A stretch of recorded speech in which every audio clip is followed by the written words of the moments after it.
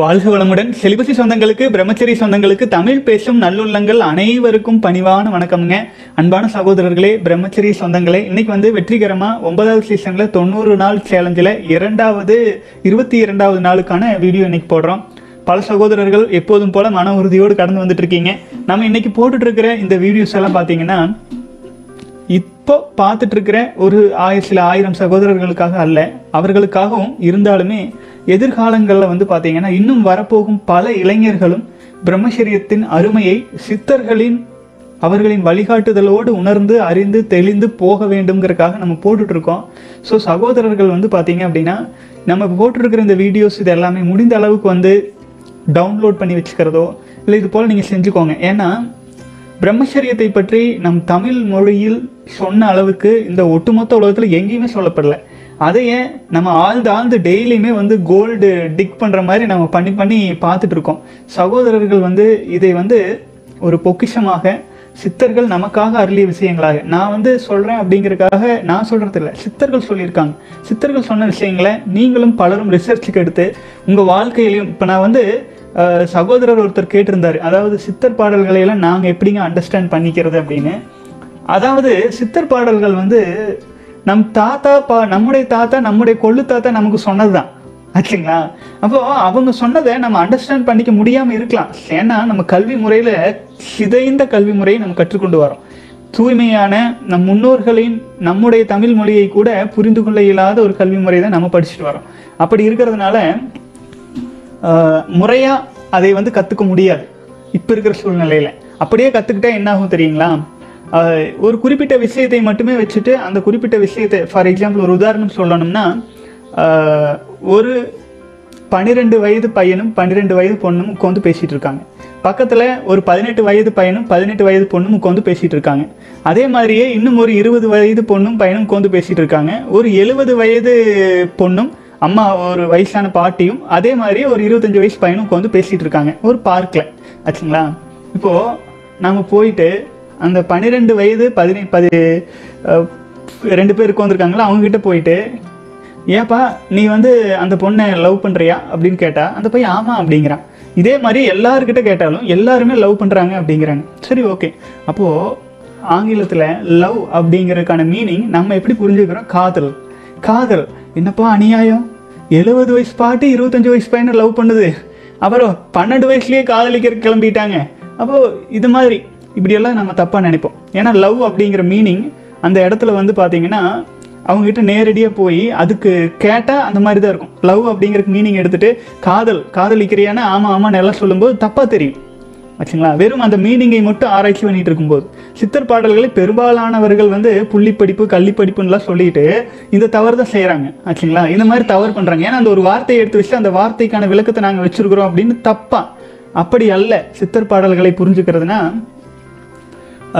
அந்த அங்கே உட்காந்துருக்காங்கல்ல அவங்களோட லைஃப்பில் கொஞ்சம் ட்ராவல் பண்ணோம்னா தெரிஞ்சிடும் இந்த பன்னெண்டு வயசு பதினோரு வயசு பையனும் பொண்ணு உட்காந்து பேசிட்டு இருக்கிறவங்க அக்கா தம்பியாக இருக்கலாம் அண்ணன் தங்கச்சியாக இருக்கலாம் இல்லைங்களா? அதே மாதிரி எழுபது வயசு பாட்டியும் இருபத்தஞ்சு வயசு பையனும் அம்மா அம்மா பையனாக இருக்கலாம். எல்லோருமே காதலிக்கிறாங்க. இதே தன்னுடைய பையனை வந்து ஒரு அம்மா வந்து அன்பு செலுத்துறது தவறு இல்லை அக்கா தம்பியாக இருக்கலாம் அன்பு செலுத்துறது தவறு இல்லை அன்புங்கிற வார்த்தைக்கு லவ்ங்கிற ஒரே ஒரு வார்த்தையை வச்சு நம்ம டெஃபினிஷன் பண்ணோம் அப்படின்னா இந்த சமுதாயம் இப்போ இப்படி உட்காந்து பேசிட்டு இருக்கிற எல்லாருமே ஒன்று கொண்டு காதலிக்கிறாங்கன்ட்டு நம்ம வந்து ரிஃப்ளெக்ஷன் பண்ணால் இந்த சமுதாயம் கெட்டு சீரழிஞ்சிருச்சோ அப்படிங்கிற பயமே வந்துடும் ஆனால் உண்மையிலேயே அவங்க கூட கொஞ்சம் ட்ராவல் பண்ணிட்டு பார்த்தோம் அப்படின்னா தெளிவாக புரியுது இல்லைங்களா? இப்போ ஓகே அண்ணன் தம்பி அக்கா அண்ணன் அக்கா தங்கச்சி இப்படி இவங்கெல்லாம் க்ளோஸாக இருக்கலாம். ஆகவே வார்த்தைகளுக்கு அர்த்தத்தை வைத்துக்கொண்டு ஒரு சித்தர் பாடல்களை நான் ப இந்த படி படிச்சுட்டு நான் இதை பண்ணிடுவேன் அப்படின்னா அது தவறாயிடும் ஆனால் அவர்களோடு டிராவல் பண்ணும்போது அந்த அந்த பையனை பொண்ணு பேசிகிட்டு இருக்காங்க அவங்க கூட உட்காந்து பேசிட்டு கொஞ்ச நேரம் உட்காந்துருந்தாலே அண்ணான்னு சொல்லும் அந்த பொண்ணு தங்கச்சின்னு சொல்லுவான் அந்த பையன். இந்த மாதிரி அப்புறம் அதே மாதிரி பதினெட்டு வயசு பதினேழு வயசு பையனும் பொண்ணு உட்காந்துக்கிறாங்கன்னா அவங்க கிட்ட பேசி கொஞ்ச நேரம் உட்காந்து பேசினா தெரிஞ்சிடும் அப்புறம் அம்மா பையன் எழுபது வயசு அம்மாவும் இருபத்தஞ்சு வயசு பையனும் உட்காந்து என்ன பேசிட்டு இருக்காங்க கொஞ்ச நேரம் டிராவல் பண்ணால் தெரிஞ்சிடும் அதே மாதிரி சித்தர் பாடல்களை ஒரு பாட்டை அனுப்பிட்டு அல்லது ஒரு பாட்டை பார்த்துட்டு இதுதான் எல்லாம் அப்படின்னு டிசைட் பண்ண முடியாது. ஆனால் சித்தர் புக்கை நீங்கள் பத்து தடவை படிங்க. பத்து தடவை படிங்க. அப்போ என்ன ஆகும்னா அந்த அந்த ஃப்ளோ உங்களுக்கு தெரிஞ்சிடும் ஆச்சுங்களா? சித்தர் புத்தகங்களில் ஃப்ளோ தான் முக்கியம். அதாவது சித்தர்கள் தன்னுடைய உயிரிலிருந்து அதிலிருந்து வரும் காந்தத்திலிருந்து அதிலிருந்து வரும் மனம் எல்லாம் கம்பைன் பண்ணி கலந்து கலந்து பாடல்கள் சொல்லியிருக்காங்க. இப்போ நாம் அவர்களுடைய எண்ணத்தோடே ஒன்றி ஒன்றி அந்த காந்தத்தோடே ஒன்றி ஒரு தவத்தில் அமர்ந்து ஆழ்ந்து அவர்கள் பா சொன்ன பாடல்களை படிக்கும்போது நமக்கு வந்து அந்த ஃப்ளோ கிடச்சிரும். ஃபார் எக்ஸாம்பிள் வந்து ஒரு சின்ன குழந்தை ஸ்கூல் படிக்கிற குழந்தை முதல்ல போகுதுன்னு வைங்களேன். One two three four five six seven eight nine ten அப்படின்னு. ஒன்று ரெண்டு மூணு நாலு அஞ்சு ஆறு ஏழு எட்டு ஒம்பது பத்து. அது வரைக்கும் கற்றுக்குச்சுன்னா அடுத்து அடுத்தது பதினொன்று பன்னிரெண்டு பதிமூணு பதினாலு பதினஞ்சு அப்படிங்கிறது ஈஸியாயிடும் ஆச்சுங்களா? நூற்றி ஒன்று நூற்றி ரெண்டு நூற்றி மூணு நூற்றி நாலு. ஏன்னா இது எல்லாமே இந்த ஒன்றுலேருந்து ஒன்பது நம்பர் வரைக்கும் வர்ற வரைக்கும் தான் அந்த ஒரு புரியாமல் இருக்கும். ஆனால் அடுத்தடுத்து அடுத்து வர வர எளிமையாக இருக்கும். அதே மாதிரி தான் ஒரு ஒரு குழந்தைகிட்ட வந்து முப்பது ரூபா கொடுக்கணும் அப்படின்ட்டு சொன்னால் முப்பது ரூபா கொடுத்துட்றோம் அதே அது கூட சேர்ந்து ஒரு ரெண்டு ரூபா கொடுத்து கொடுத்தோம்னு வச்சுங்களேன் முப்பது ரெண்டு அப்படின்னு சொல்லு. ஆச்சுங்களா? முப்பத்தி ரெண்டுன்னு சொல்ல தெரியாது. இப்போ முப்பது ரெண்டு அப்படிங்கும் ஏன்னா அது முப்பத்தி ரெண்டு தான். அந்த குழந்தை வந்து இந்த ஒரு முப்பது அடுத்தது வர்ற ஒன் டூ த்ரீ எல்லாம் முப்பது ரெண்டு அடுத்தது முப்பது நாலு முப்பது அஞ்சு அப்படி அண்டர்ஸ்டாண்ட் ஆகும். அப்புறம் நாட்கள் செல்ல செல்ல இதை இணைச்சு சொல்லணும் அப்படிங்கிறது வரும். அப்போ சித்திரமும் கைப்பழக்கம் செந்தமிழும் நாப்பழக்கம்ங்கிற மாதிரி கொஞ்சம் கொஞ்சமா கொஞ்சம் கொஞ்சமா அண்டர்ஸ்டாண்ட் ஆகாம அதுக்கு என்ன பண்ணணும்னா இப்போ நம்ம சித்தர் பாடல்கள் விளக்கம் கொடுத்துட்டே வரோம் இல்லைங்களா? இப்போ நான் என்ன பண்ணுவேன்னா சித்தர் புத்தகத்தை சித்தர் விஷயங்களை தவிர எதுவுமே பார்க்கறது இல்லை அப்போ அவங்களோடையே வாழ்ந்துட்டு இருக்கிற மாதிரி ஆச்சுங்களா? இப்போ சித்தர்கள் அப்படிங்கிறது ஒரு கட்டத்தில் இப்போ இதில் கேட்ட ஞாபகம் இருக்குது சித்தர்கள் அப்படிங்கிறது வந்து அவர்கள் ஜூஸாக கொடுத்துட்டாங்க. சித்தர் பாடல்கள் தன்னுடைய உயிரிலிருந்து எல்லாம் எடுத்து கொடுத்துட்டாங்க. சித்தர்களை நம்ம உண்மையில் உணர்ந்துக்கணும் அப்படின்னா சித்தர் சமாதிக்கு போகிறத விட அவர்கள் சொன்ன பாடல்களை பார்த்தாலே நம்ம சித்தர்களோட வாழ்கிற மாதிரி தான் ஆச்சுங்களா? ஆகவே அந்த பாடல்களை அதிகமாக படிக்க படிக்க படிக்க நமக்கு புரிதல் அதிகமாயிட்டே வரும். ஆனால் இடையில திடீர்னு ஒரு பாட்டு எடுத்து வச்சுட்டு அதையவே பார்த்தோம் அப்படின்னா அடிக்கடி படித்த பழக்கம் இருந்தால் ஈஸியாக இருக்கும். இல்லைன்னா கன்ஃபியூஸாக இருக்கும். கன்ஃபியூஸாக இருக்கிறவங்கலாம் சித்தர் பாடலை முழுசாக பார்க்கலாம். ஏன்னா சித்தர் பாடல்களை எப்படி புரிஞ்சுக்கிறதுன்னு சிலர் கேட்டதுனால நான் அதுக்காக நான் விளக்கமாக நான் இதை சொல்லியிருக்கேங்க. அப்புறம் இன்னைக்கு வந்து இருபத்தி ரெண்டாவது நாள் சேலஞ்சில் உடல் உயிர் அப்போ நம்ம உடலையும் உயிரையும் எப்படி மேம்படுத்திக்கிறது? அப்புறம் பிரம்மச்சரியத்தின் ஆற்றலை பற்றி விளக்கும் திருமந்திர பாடல்கள் சில பாடல்களை நான் எடுத்து வச்சுருக்கேன். எல்லாருக்கும் இன்ஃபர்மேஷனாக இருக்கும். மிஸ் பண்ணிடாதீங்க. தொடர்ந்து கடைசி வரைக்கும் பாருங்கள் சில கேள்வி பதில்களும் நிறைய இருக்குது வேக வேகமாக பார்த்துடலாம் உடம்பால் அழியின் உயிரால் அழிவர். திடம்பட மெய்ஞானம் சேரவும் மாட்டார். உடம்பை வளர்க்கும் உபாயம் அறிந்தே உடம்பை வளர்த்தேன் உயிர் வளர்த்தேனே.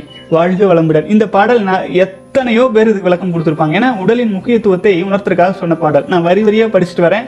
கிரிட்டிக்கல் லைன்ஸ் இருந்தால் நான் எக்ஸ்பிளைன் பண்ணிடுறேங்க. உடம்பார் அழியின் உளி உயிரால் அழிவர். ஆச்சுங்களா? உடம்பு போனால் அங்கே உயிர் தங்கறதுக்கு இடம் இல்லை. ஆச்சுங்களா? உடம்பால் அழியும் போது உயிரால் அழிவோம். திடம்பட மெய்ஞானம் சேரவும் மாட்டார். ஆச்சுங்களா? இறைநிலையை நோக்கி ஒரு பயணத்திற்கு உணர்ந்து உணர்ந்து வாழ்வதற்கு இந்த உடல் இல்லைன்னா நம்ம மெய்ஞானம் கூட சேர முடியாது. உடம்பை வளர்க்கும் உபாயம் அறிந்தே உடம்பை வளர்த்தேன் உயிர் வளர்த்தேனே. அப்போ உடம்பை வளர்க்கும் உபாயம் அறிந்து அப்படிங்கிறாரு இல்லைங்களா? உடம்பை வளர்க்கும் உபாயம் என்னத்தை அறிஞ்சிருக்கிறாரு அப்படிங்கிறத அடுத்த வரியில் சொல்லியிருக்கிறாரு. உடம்பை வளர்க்கும் உபாயம் அறிந்தே உடம்பை வளர்த்தேன். எப்போ? எப்படி உடம்பை வளர்க்க முடிஞ்சுது அப்படின்னா உயிரை வளர்த்தேனே. புரிஞ்சுதுங்களா?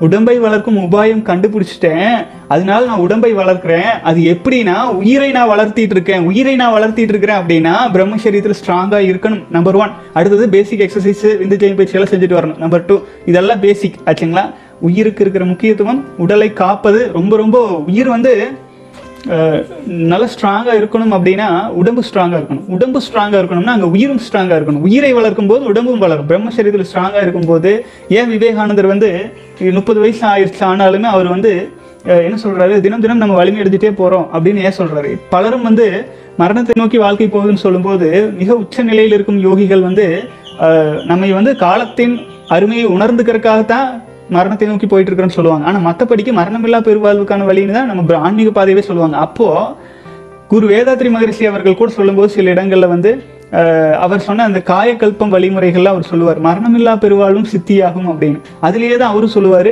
ஒரு மனிதனின் விந்து சக்தியின் அளவையும் தரத்தையும் பொறுத்து அவன் வாழ்க்கையை அமையணும்னு சொல்லுவார். இது எல்லாமே நம்ம வந்து திருமூலரின் விந்து ஜெயம் பயிற்சிகள்ல எல்லாமே வந்துடும் அப்போ அந்த இடத்துல குரு வேதாத்ரி மகரிஷியும் அதை சொல்லுவார் சித்தர்கள் அதை சொல்லுவாங்க. முக்கிய காரணம் உயிரை வளர்க்கணும். உயிரை வளர்ப்பதற்கு உயிரின் ஆயுளை வளர்க்க வேண்டும். உயிரின் ஆயுளை வளர்ப்பதற்கு விந்துஜயம் பயிற்சிகளை ஆழ்ந்து செஞ்சுட்டு வரணும். அது மட்டுமல்ல உடல் சார்ந்த பயிற்சிகள் எது இருந்தாலும் செஞ்சுட்டே வரலாம். இது தொடர்பாக வர்ற நாலஞ்சு பாடல் நான் வரிசையை பாட்டு வர ரொம்ப முக்கியமா இருக்கும். முதல்ல இந்த பாடலை மறுபடி படிச்சிடறேங்க.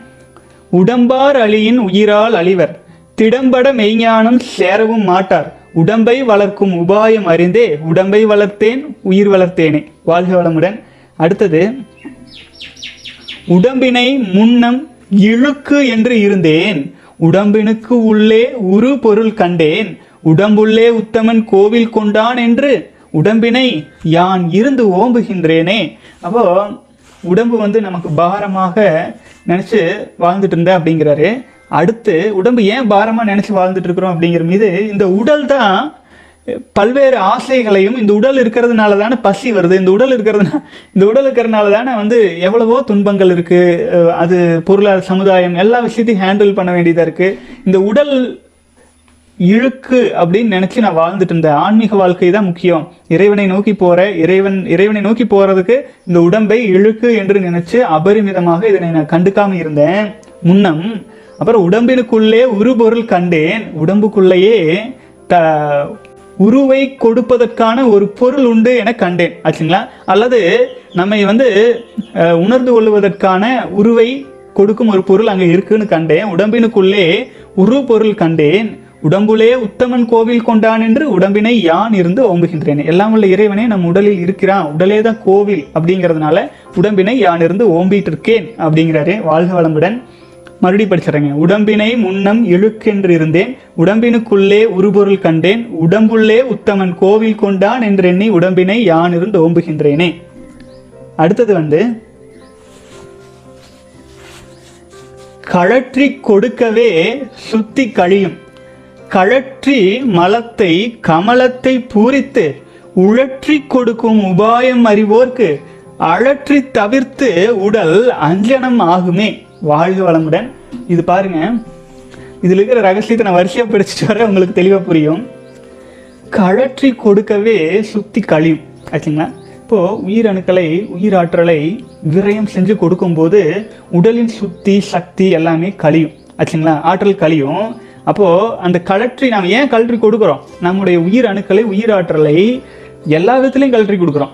ஆற்றல் விரயத்தின் மூலமாக ஒன்று விந்து சக்தி மூலமாக சுய இன்பம் காமம் போன்ற விஷயங்களை கழற்றி கொடுக்குறோம். நம்பர் ஒன் நம்பர் டூ மனதின் வழியாக கோபம் பயம் கவலை கற்பனை வலைகள் பல விஷயங்கள் மூலமாக கழற்றி கொடுக்குறோம். அது மட்டும் இல்லாமல் என்டர்டைன்மெண்ட்டுங்கிற பேரில் டிவி கேம்ஸு லொட்டு லொசுக்கொண்டு கழற்றி கொடுக்குறோம். அப்போது கழற்றி ஆற்றலை கொடுக்கவே சுற்றி கழியும். அது ஏன் நம்ம கொடுக்குறோம்னா அதை நம்ம மலமாக நினச்சிட்டோம். அது வந்து நமக்கு தேவையில்லைன்னு நினைச்சிட்டு தான் ஆற்றல் விரையும் பண்ணுறோம் இல்லைங்களா? அப்போது கழற்றி கொடுக்கவே சுத்தி கழியும். கழற்றி மலத்தை அந்த கழற்றி மலமாக நினைத்து கழற்றி கொடுக்கும் அந்த ஆற்றலை கமலத்தை பூரித்து கமலம்னா ஆயிர இதழ் தாமரை கமலத்தை பூரித்து உழற்றி கொடுக்கும் உபாயம் அறிவார்க்கு அந்த கமலத்தை பூரிப்பதற்காக ஆற்றலை மேல் நோக்கி எடுத்து உழற்றி கொடுக்கும் உபாயம் அறிவார்க்கு அழற்றி தவிர்த்து உடல் அஞ்சனம் ஆகுமே அப்போ என்னாகுங்க? இந்த மாதிரியான தேவையற்ற ஆற்றல் விரயங்களை எல்லாம் தவிர்த்து உடல் அஞ்சனம் அழிவில்லாத நிலையை கூட அடையும் அப்படிங்கிறாரு. எவ்வளோ அருமை பாருங்க. எவ்வளோ எளிவு எவ்வளோ எளிதா அழகா. ஏன் இதுக்கு போய் விஞ்ஞானிகள் உட்காந்துட்டு எத்தனாயிரம் வருஷம் ஆராய்ச்சி பண்ணணும்?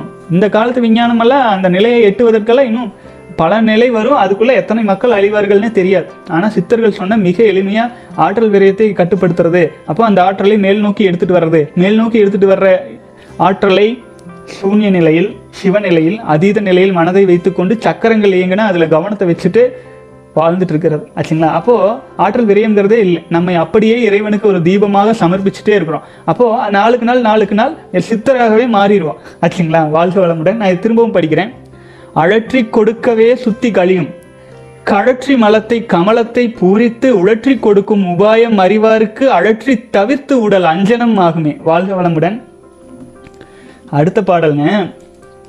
நம்முடைய முன்னோர்கள் வந்து வாத பித்த கபம் அப்படின்னு மூணு விஷயம் சொல்லி மருத்துவ முறைகளை உருவாக்கி வச்சு பண்ணிட்டு இருப்பாங்க. ஆச்சுங்களா? அதையெல்லாம் நம்ம பிரம்மச்சரிய வெளியில எப்படி தூக்கி பஞ்சு மாதிரி வீசுறது? அப்படிங்கிறத அழகாக இந்த பாடலில் வரும். இது நான் இந்த பாடலை சொல்லுவதற்காக தான் முன்னாடி இருக்கும் விஷயங்களை எல்லாம் எடுத்துகிட்டே வந்தேன். இந்த பாடல் தான் ரொம்ப ரொம்ப முக்கியம். வாழ்க வளமுடன். அஞ்சனம் போன்ற உடல் அஞ்சனம் போன்றுடல் ஐயுறும் அந்தியில் வஞ்சகவாத மறுமத்தி யானத்தில் செஞ்சுரு காலையில் செய்திடில் பித்தரும் நஞ்சர சொன்னோம் நரை திரை நாசமே. வாழ்க வளமுடன். இது பாருங்க இந்த பாடல் வந்து அஞ்சனம் போன்றுடல் முன்னாடி உடம்பு ஆகும் அப்படின்னு சொன்னார். அழிவில்லா தேகமாக உடல் மாறும்னு சொல்லியிருந்தார் முந்தைய பாடலில்.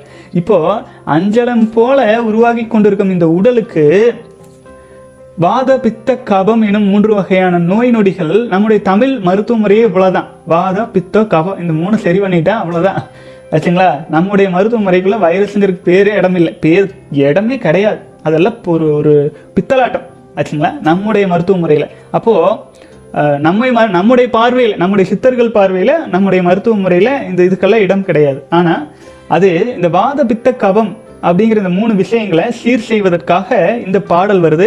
அதனால ஆழ்ந்து பாருங்க வரி வரியா படிச்சுட்டு அஞ்சரம் போல் உடல் அஞ்சனம் போன்ற உடல் ஐயரும் அந்தியில் அதாவது வந்து பார்த்தீங்கன்னா மாலை நேரத்தில் டவுன் செய்யும் போது பார்த்தீங்கன்னா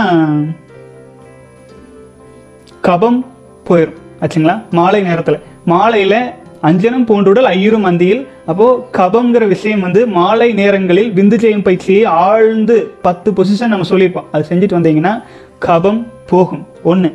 ரெண்டாவது வஞ்சக மறுமத்தியானத்தில் வாதம் போகும். ஆச்சுங்களா? வஞ்சக வாதம் மறு மத்தியானத்தில் ஆஃப்டர்நூன் டைம்ல விந்து ஜெயம் பயிற்சி டென் பொசிஷன் செஞ்சுட்டு வந்தீங்கன்னா அந்த வாதம் போகும்.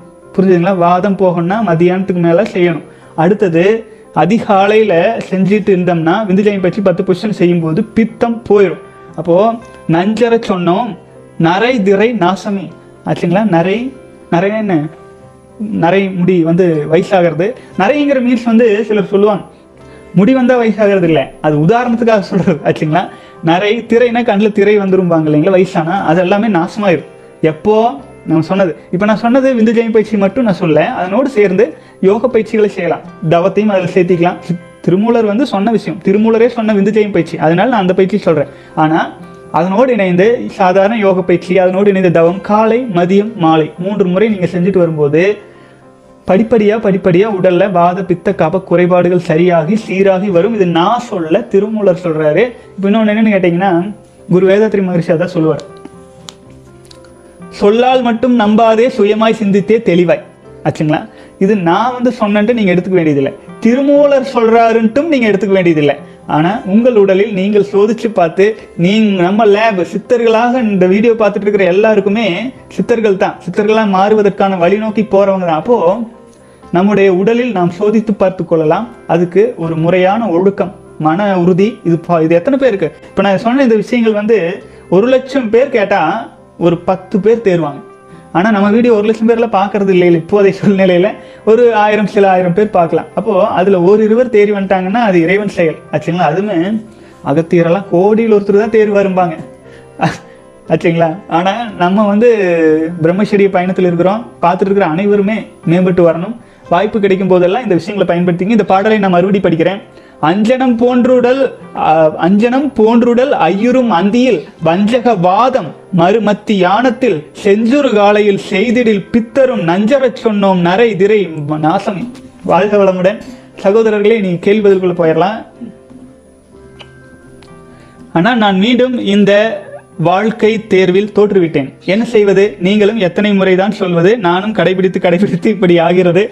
எனக்கு மனம் மிகுந்த வேதனையில் உள்ளதண்ணா நான் இன்று செய்த தவறை சொல்கிறேன் அண்ணா. இன்று காலையில் நான் எழுந்து முதலில் குளிக்கவில்லை. அண்ணா பிறகு நேற்று இரவு அதிகமான சாப்பாடு அதனைத் தொடர்ந்து காலையில் தூக்கம் திரவம் தூக்கத்தில் திரவம் தவறுதலாக வெளிவந்து விட்டது. பிறகு அதனை தொடர்ந்து எனக்கு காம் உணர்வுகள் வந்து கொண்டே இருந்தது.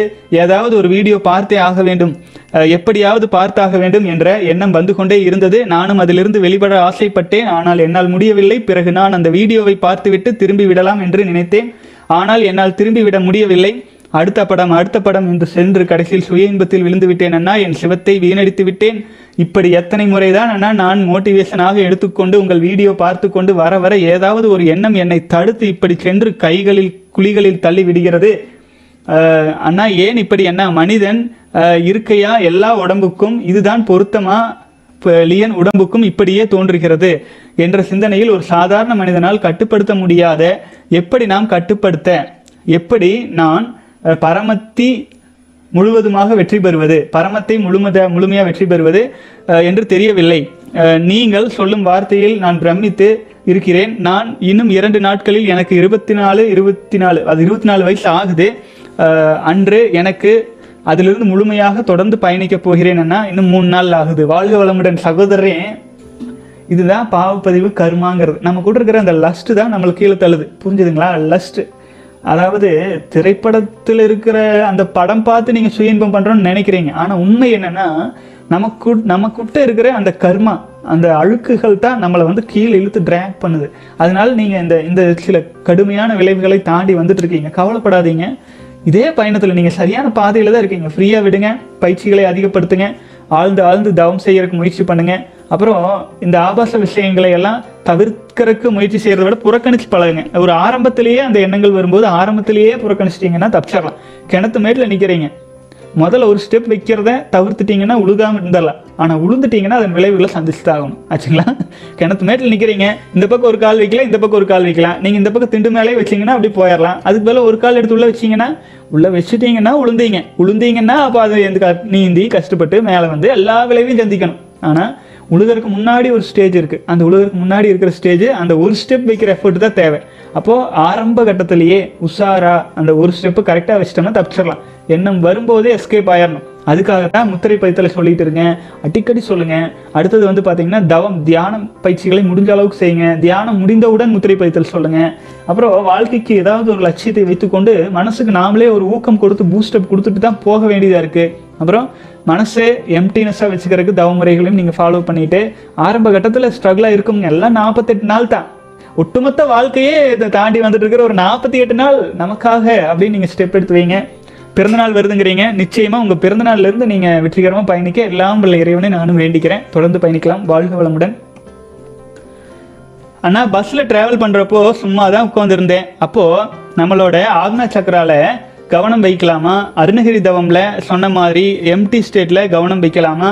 Vallalar suggested to focus on Netrikann Arunagirinathar suggested to focus on silence which is better to follow அண்ணா. வாழ்க வளமுடன். ஒரு விஷயம் புரிஞ்சுக்கணுங்க. இப்போ கொஞ்ச நேரத்துக்கு முன்னாடி நான் படித்த சகோதரர் வந்து அழுக்குகள் நீங்கப்படாமல் இருக்கிற காரணத்தினால அழுக்குகள் என்பது நம்முடைய கர்மா. அப்போது நம்முடைய கர்மாக்கு வந்து இன்னும் அப்படியே இருக்குது அதனால என்ன ஆகுது? நம்முடைய உயிரணுக்குகள் அழுத்தம் பெற்று இடுப்பு மூலாதார சக்கரத்திலேயே இருக்குது அப்போது அந்த கர்மாக்கள் பியூரிஃபை எப்போ ஆகும்னா மனசு எம்டியாக இருக்கும்போது பியூரிஃபை ஆகிட்டே இருக்கும். மனசு எம்டியாக இருக்கிறோம் அப்படின்னாலே உயிரணுக்கள் மேலே வர ஆரம்பிச்சிடும் உயிரணுக்கள் மேலே வருது அப்படின்னாலே ஆக்னா துரிய சக்கரம் ஆக்டிவேஷன் ஆயிரும். இப்போ நீங்க ஆக்னா சக்கர தவம் தனியா செய்கிறீங்க சைலன்ஸ் தனியா செய்கிறீங்கிறது இல்லை. நீங்க சைலன்ஸா இருந்தாலே ஆக்னா சக்கரம் தான் ஆக்டிவேஷன் ஆகும். நீங்க ஆக்னா சக்கரத்துக்கு வந்துட்டீங்கனாலே சைலன்ஸ் தானா வந்துடும் ரெண்டும் அப்படியே ரெட்டப்பிறவிகள் மாதிரி தான் ஒட்டி ஒட்டி தான் இருக்கும் ஆச்சுங்களா? அதனால நீங்க சைலன்ஸ் தனியா செஞ்சுட்டு இருக்கோங்கிறது சைலன்ஸ்ல நிலைக்க நிலைக்க நிலைக்க நிலைக்க ஆட்டோமேட்டிக்கா உயிர் வந்து தன்னுடைய அழுத்த கர்மாக்கள் பியூரிஃபை ஆகி மேலே வந்து உங்களுக்கு இங்க துடிப்பு வந்துடும் தடுக்கிறதுக்கு வழி இல்லை. இதுதான் பேசிக் அதனால ஆனால் நீங்கள் ட்ராவலிங்கில் இருக்கும்போது அப்படிங்கிறதுனால ட்ராவலிங்கில் இருக்கும்போது எப்போதுமே வந்து பார்த்தீங்கன்னா மேல்நிலை தவங்கள் செய்யக்கூடாது. புரிஞ்சுதுங்களா? ஏன்னா அது போயிட்டு இருக்கு காத்து வண்டி வாக்கில் போயிட்டு இருக்கு சுற்றி பெண்கள் இருப்பாங்க மாதவிடாயான பெண்கள் இருப்பாங்க. ஆற்றல் அப்படியே உங்களுடைய ஆற்றல் உயிரணுக்கள் ஆற்றல் மேலே வந்துட்டு இருக்கும்போது உங்களை விட பலவீனமான மனிதர்கள் பக்கத்தில் இருந்தால் அவங்க அப்படியே அப்சர்வ் பண்ணிக்கிறதுக்கு வாய்ப்பு இருக்குது அல்லது உங்களுக்கு ஆற்றல் குறையிறதுக்கு வாய்ப்பு இருக்குது நீங்கள் நான் நானும் இதெல்லாம் நிறைய தடவை பண்ணி பார்த்துருக்கேங்க. பஸ்ஸில் போகும்போது ட்ரெயினில் போகும்போதெல்லாம் ஆக்னா தவங்கள் பண்ணவே கூடாது. ஆச்சுங்களா? பண்ணோம்னா பலவீனமாயிரும். வீக்காக ஃபீல் ஆயிரும். அதனால அந்த சமயங்களில் ஒன்று சாந்தி தவம்னு சொல்கிறேன் மூலாதார தவம்னு சொல்கிறேன் வேகம் தனித்தல் தவம்னு சொல்கிறேன் அதில் கான்சென்ட்ரேஷன் பண்ணுங்க. மூலாதார சக்கரத்தில். சைலன்ஸ்லேயே இருங்க. ஆனால் கவனத்தை மூலாதார சக்கரத்தில் வச்சுக்கலாம். ஒன்று அப்படி இல்லை அது இல்லை அப்படின்னா முத்திரை பைத்தல் தான் நம்ம சொல்லியிருக்கோம். ஒரு டிராவலிங் ரெண்டு மணி நேரம் போறீங்கன்னா ஆயிரத்தி எட்டு முறை சொல்ல முடிஞ்ச சொல்லுங்களேன் முத்திரை பைத்தல் மனசு இயங்கிட்டே இருக்கும். ஆச்சுங்களா அந்த அழுத்தம் வந்து ஆற்றல் வெளியில் போய் விரயமாகிறதுக்கு இருக்கிறதால உங்கள் மனதின் வழியாக போக ஆரம்பிச்சிடும் நீங்கள் முத்திரை சொல்லிகிட்டே இருந்தீங்கனால தூக்கம் வந்தால் வந்துடும் அப்படியே ட்ராவல் பண்ணலாம். வாழ்க வளமுடன். Hi brother I see many good people are suffering in this world the reason is they wasted their energy or their karma வாழ்க வளமுடன். இப்போ நான் எப்படி சைலன்ஸுக்கும் ஆக்னாதுரிய சக்கரத்துக்கும் தொடர்பு இருக்குன்னு சொல்கிறனோ அதே மாதிரியே சகோதரர் கேட்ட கேள்வி என்னென்னா இந்த உலகத்தில் மக்கள் கஷ்டப்படுறதுக்கு காரணம் உயிரற்றலை அபரிமிதமாக விரயம் செஞ்சதா அல்லது அவர்கள் பூர்வ ஜென்ம கர்மாவான்னு கேட்குறாரு இந்த பூர்வ ஜென்ம கர்மா அப்படிங்கிற ஒரு விஷயம் தான் நம்முடைய ஆற்றலை அந்த அழுக்கு அப்படிங்கிற விஷயம் கர்மாங்கிறது வந்து அந்த தீய கர்மாஸ் இருந்துச்சுன்னா அந்த அது மனதளவில் தான் பாதிப்பு. மனசை அமைதியடைய விடாமல் கீழ் நோக்கி ஆற்றலை கொண்டுட்டு வந்துடும் கீழ் நோக்கி ஆற்றலை கொண்டு வந்து ஆட்டோமேட்டிக்காக ஆற்றல் விரயமும் செய்ய ஆரம்பிச்சிருவோம் அப்போ என்ன ஆகும் கர்மா இருக்குது அப்படிங்கும்போது தான் நம்முடைய ஆற்றல் விரயத்துக்குமே தூண்டுகோலாக மாறிடும் அதனாலேயே சஃபரிங்ஸ் வாழ்க்கையில் ஒரே விஷயத்தை திரும்ப திரும்ப திரும்ப பண்ணி பண்ணி பண்ணி கஷ்டப்பட்டுட்டே இருப்போம். ஆகவே கர்மாஸ் பியூரிஃபை ஆக ஆக ஆக பிரம்மச்சரியத்தில் நிலைக்கும் நாட்களும் அதிகமாகிட்டு வரும். ஆகவே இது தனியாக அது தனியாக வச்சு பார்க்க முடியாது. எப்படி மன அழுக்குகளும் சஞ்சலங்களும் நம்மை வந்து கீழ்நிலைக்கு இழுத்துட்டு போகுதோ அதே மாதிரி மன தூய்மையும் அமைதியும் நம்மை மேல்நிலைக்கு இழுத்துட்டு போகும்.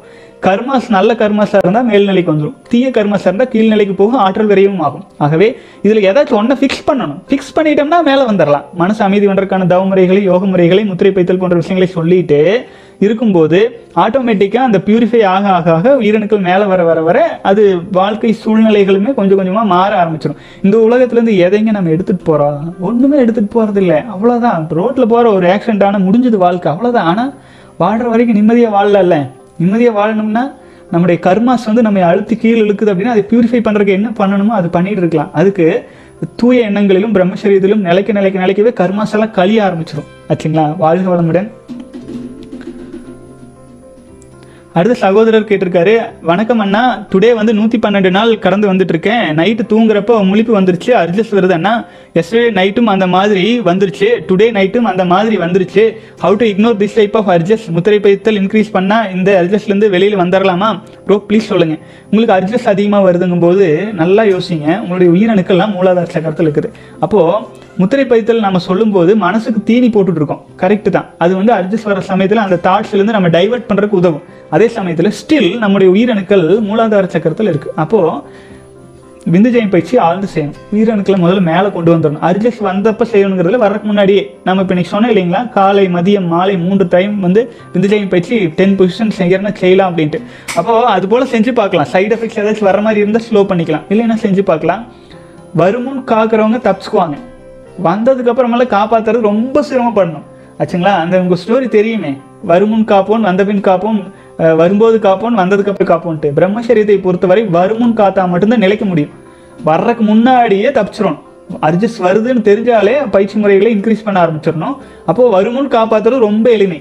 இல்லைன்னா குதிச்சிருவான். குதிச்சு நீந்தி மேலே வந்து உணர்ந்து திரிந்து தெளிவாயிட்டான்னு நினைப்பான். மறுபடியும் மறுபடியும் அந்த சுழல்ல சிக்கிக்குவோம் ஆகவே வருமுன் காக்கிறதுக்கான என்ன வழிகள் உண்டோ அதை ஃபாலோ பண்ணலாங்க அதுக்கு முத்திரை பைத்தலும் உதவும் விஞ்சயம் பயிற்சியும் உதவும் அப்புறம் மேல்நிலை அமைதி நிலை தவங்களும் உதவும். தொடர்ந்து பயணிக்கலாம். வாழ்க வளமுடன் சகோதரன் அடுத்த சகோதரர் ராக்கி சகோதரர் கமெண்ட்ஸில் போட்டிருக்காரு. Thanks for your answering previous வீடியோன்னா I am planning to wear சப wear Sabarimala. கோவிலுக்கு போகலான்னு இருக்கேன். சபரிமலை கோயிலுக்கு போகலான்னு இருக்கேன். விரதம் இருந்து மை கொஸ்டின் இஸ் ஐயப்பனோட உண்மையான வரலாறு தெரியலன்னா சில பேர் சிவா அண்ட் விஷ்ணுவோட மே மோகினி அவதாரில் வந்தவர் தான் ஐயப்பன்னு சொல்கிறாங்க அடுத்தது இன்னும் சில பேர் அதெல்லாம் ஜஸ்ட் கட்டுக்கதை ஐயப்பன் ஒரு வெல்தி ஃபேமிலியிலிருந்து வந்ததை சித்தர்னு சொல்கிறாங்க can you explain my knowledge வாழ்க வளமுடன் சகோதரரே நாம் எப்பவுமே வந்து சித்தர்களை அதாவது வந்து முன்னோர்கள் சொன்ன கதைகளை சித்தர்கள் வந்து உடலில் தான் பொருத்தி பார்த்துருப்பாங்க சித்தர்கள். உடலில் இருக்கும் விஷயங்களை எப் சரி பண்ணிக்கிறதுக்காக மனதில் பதிய வைக்கணுங்கிறதுக்காக வெளியில கதைகளாக புராணங்களாக உருவாக்கப்பட்டிருக்கு.